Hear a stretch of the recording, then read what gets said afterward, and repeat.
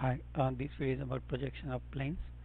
So the problem here is that an elliptical plate of dimension 140 mm by 80 mm rests on a point of its periphery on horizontal plane and inclined with it such that its plan or a top view is a circle. Okay, so draw the projection and find out the inclination of it with the horizontal plane. Okay, so this is the uh, elliptical plate here it is this so this problem will be in two stage. In the first stage it is here sitting parallel to horizontal plane okay? And is and this is the front view here this line. And then it is lifted that angle we don't know but it is lifted such a way that when we look from the top here like here you are seeing a circle only okay? And then the the we have to find out this angle here okay so that's the problem here. So if you if I click here so first this is the elliptical plate. As I mentioned here it is the 140 mm by 80 mm. So this elliptical plate is 140 is a major axis. Minor axis is 80 mm. Okay and then it is um, divided in four parts and then they are numbered at A B C and D. Okay and then um, this is the top view here. Uh, this is the front view and this is the first stage. Okay once we have that one then the then the third step will be to draw this circle here. Okay so if I have to give the number here let's say um, I'm giving the step number here so this will be the number one. Okay uh, let me fill out with some color and give it the bigger font here okay and then I can reduce its size. Okay so if this is the step number one oops, okay so this okay I just want to move this circle here. Okay so this is a step number one. Then step number two will be to draw this line here.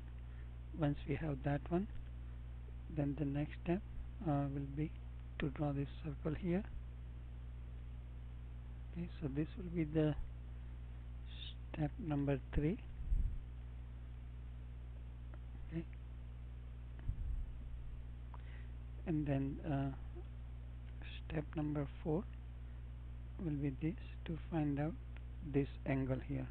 That happened to be 55.2 okay so back to here. Um, we first draw this elliptical plate then we draw this front view. We extend all the lines. So we get that A dash uh, C and D. So we get two points here C dash and D dash. And when we extend this uh, B point we get the B dash. Once we have those completed the first stage then we draw this circle here.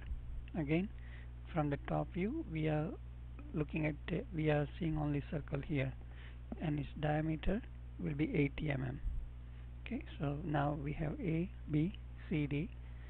We extend all the lines here. Okay and then the, our A dash to B dash length will be fixed. So then we draw this A dash to B dash such a way uh, that the length remains same here. That is A dash to B dash.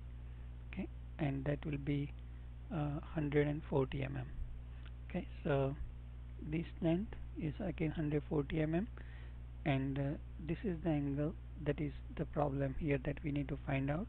And solution is uh, that degree is 55.2 okay so again to recap everything we start with this uh, plan.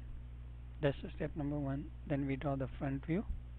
Step number three will be to draw this circle whose diameter is 80 mm and once we have that completed we extend all the lines here on the top and draw this line a dash to b dash that is 140 mm okay and uh, once we complete that part this is the solution. That is theta is equal to 55.2 or degree is equal to 55.2 okay so if we go back here this angle is 55.2 okay so hopefully you like this video. If you like it subscribe to my channel and thanks for watching. Okay bye